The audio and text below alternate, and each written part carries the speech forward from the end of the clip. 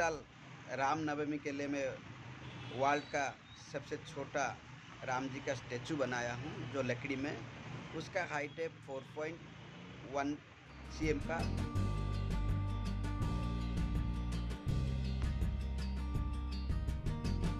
आप लोग सब घर में रहे, मंदिर मत जाइए।